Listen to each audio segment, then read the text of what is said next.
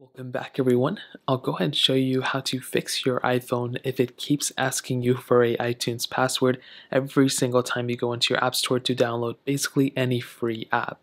So in order to do this, what you want to do, it's very easy.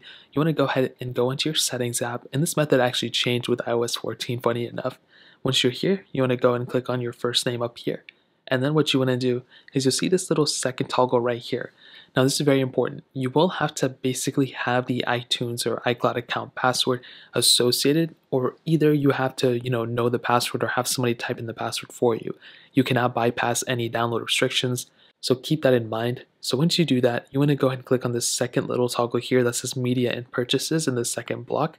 So once you go and click on it, you want to go and click the second option which says password settings.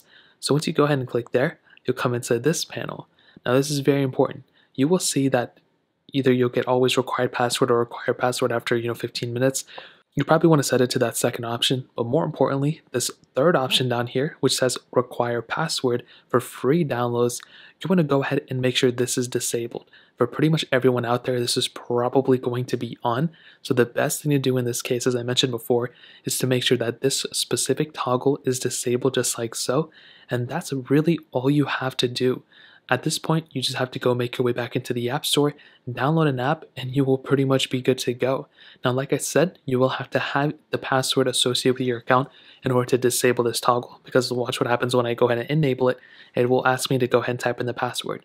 So that's pretty much all you have to do. Type in the password, disable it, and you will pretty much be good to go. So that's how to fix it. If you guys have any other questions or anything like that, let me know in the comment section below.